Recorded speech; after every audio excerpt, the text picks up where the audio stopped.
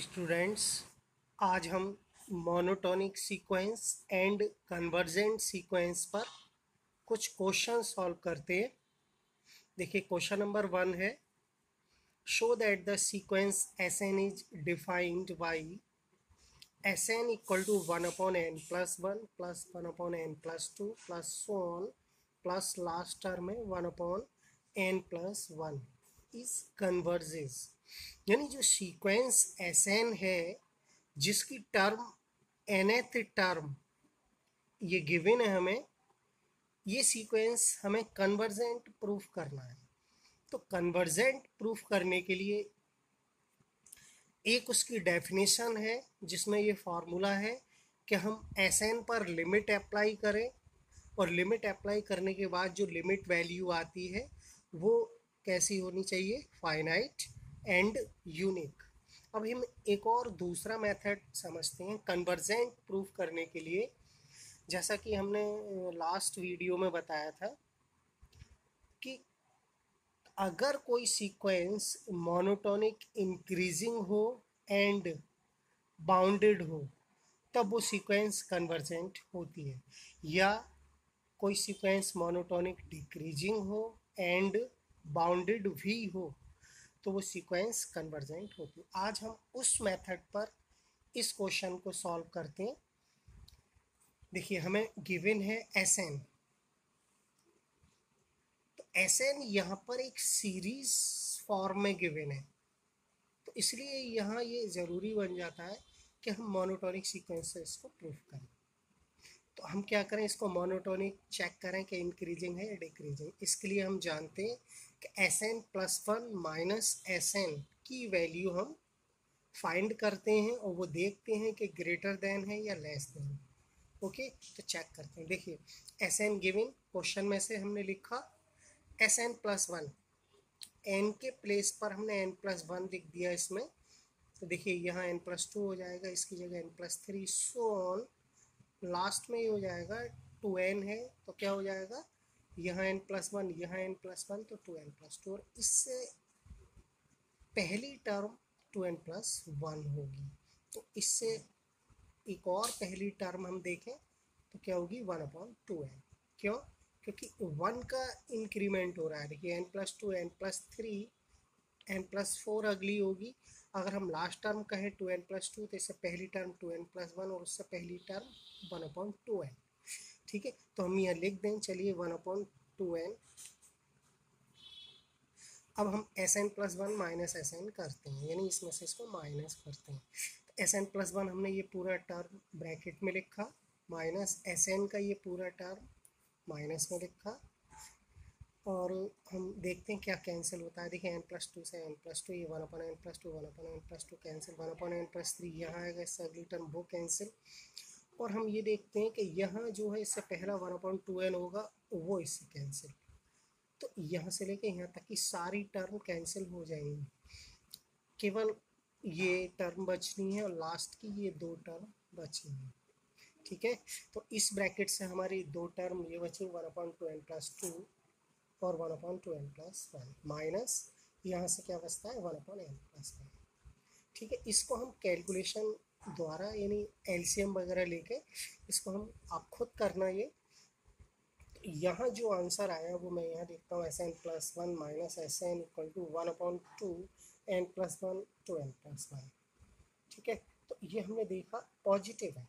कहीं भी नेगेटिव नहीं है।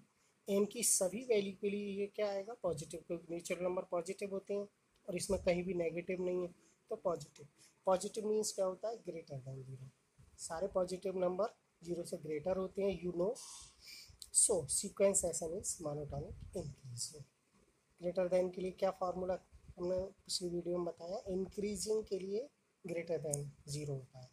सीक्वेंस कैसे होगी? इंक्रीजिंग सीक्वेंस मोनोटॉनिक अब हम इसको बाउंडेड भी प्रूफ कर दें तो ये कैसी हो जाएगी?